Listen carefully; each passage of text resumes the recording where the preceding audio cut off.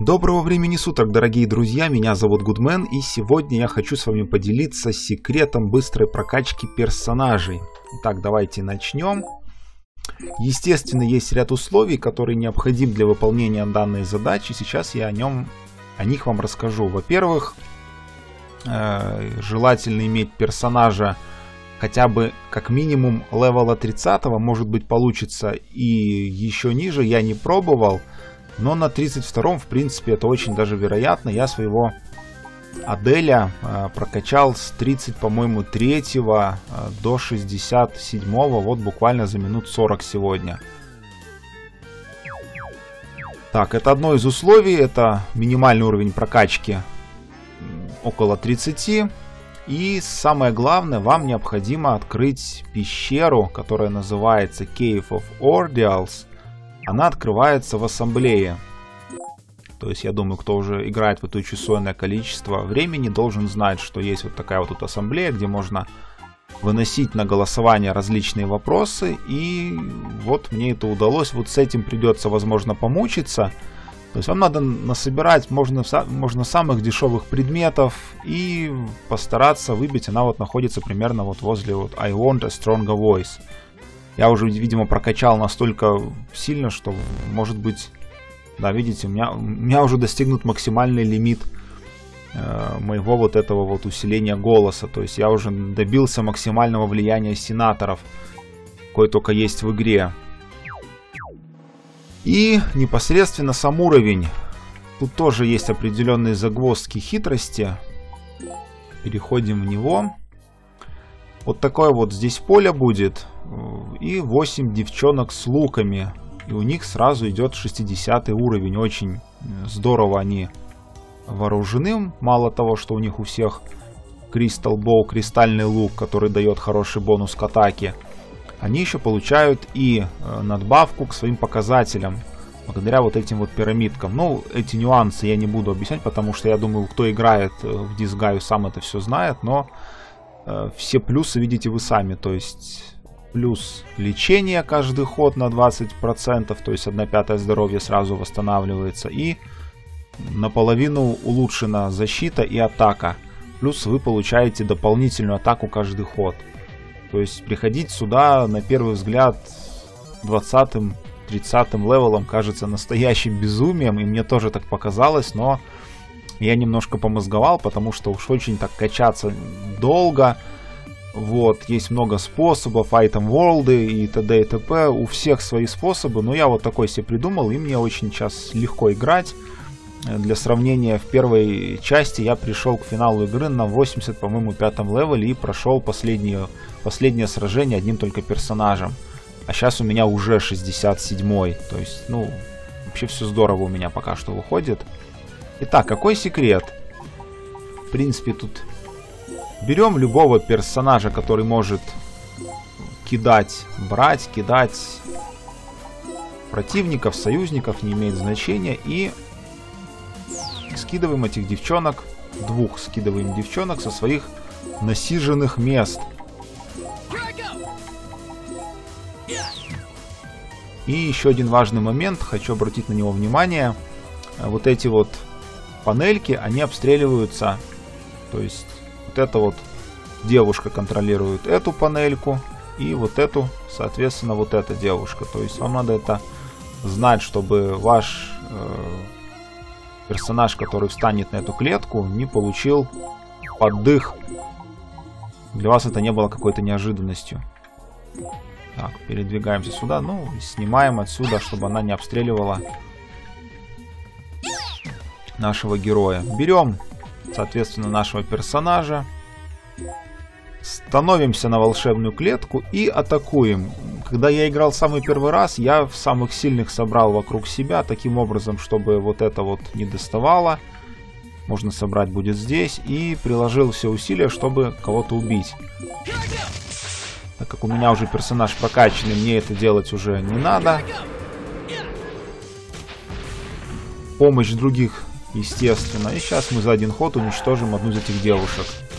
Обращаю ваше внимание, что вот эти девчонки с луками, они не имеют атак масштабных, они могут атаковать только одного противника. Поэтому Если вы здесь выставите кордоны слабых персонажей, то они будут нацелены только на них, а ваших более сильных героев трогать не будут. Учтите это для первого сражения, это вам очень поможет.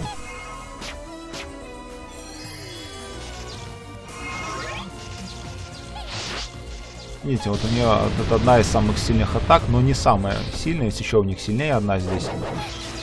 Название, правда, я подзабыл.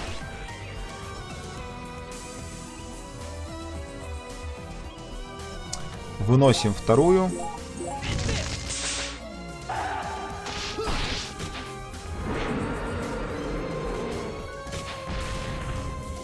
И еще одна атака.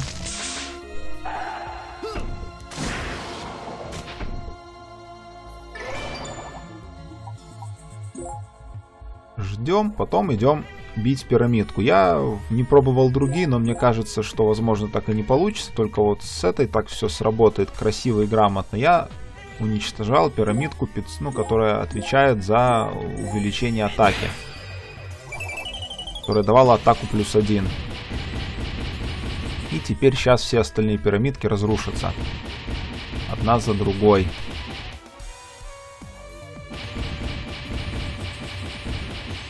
Так как они стоят на этих клетках, они получают очень неплохой урон, который отнимает у них практически все здоровье. Смотрите. 113, 205, 65, 113, 135. Пропускаем ход. И дальше, ну, я, по крайней мере, для своего ускорения, у него персонажа есть вот такая атака. Тут уже идет все дело техники, у, кого, у каждого будет свой какой-то стиль. Главное не попадать им под выстрелы, потому что они очень сильны даже без этих дополнительных параметров, тем более, когда у вас будет только 30 level. Вам главное за один ход вот, этих, вот эту двоечку уничтожать. Если вы это, с этим справитесь, какую-то свою стратегию разработаете, у вас все получится и вы очень здорово своих персонажей прокачаете. Это быстрый, эффективный способ. Самое сложное здесь, на самом деле, говорю, открыть вот эту самую пещеру. Без нее придется долго заморачиваться. Ну и с таким героем вы сами понимаете, что сюжетная линия становится по большей части формальностью. Больше половины игры вы пройдете за один присест. Ничего сложного там не будет. Все персонажи будут идти заведомо слабее. Только уже ближе к финалу надо будет что-то уже другое придумывать, но я туда еще не добрался, может быть что-то еще найду. И потом тогда с вами поделюсь. Вот мы встретились с последней. Вот это последний сложный нюанс. Атакуйте ее всеми возможными силами. Помните, что она может атаковать только одного вашего персонажа. Самые крутые техники ваши оставьте на нее.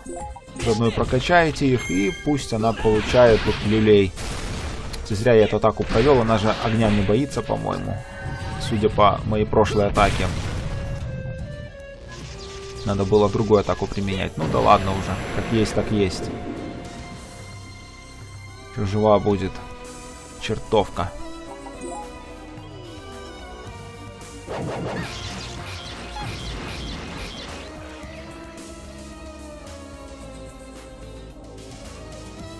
336. Ну, давай я тебе что-нибудь такое сделаю.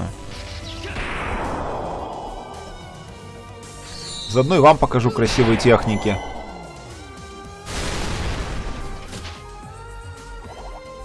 Все, друзья.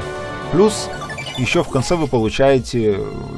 Бывает здесь какие-то предметы вместо денег или опыта выпадают, а это тоже очень классная прибавка во-первых, очень много денег, во-вторых, вы получаете какой-то очень крутой предмет. Так что очень, очень, на мой взгляд, удобный и классный способ. Это все занимает, когда это все делается на автомате, всего ничего, по сути дела, занимает он все несколько там. У меня где-то сегодня вот я засекал, занял около 4 минут. Это все, друзья, что я хотел вам показать. Большое спасибо за просмотр. Если вам понравилось видео, ставьте лайки или комментируйте. Если вам понравилась игра, ссылочку, как всегда, я оставляю под видео. А на этом у нас все. Играйте только в хорошие игрушки. Всем пока-пока.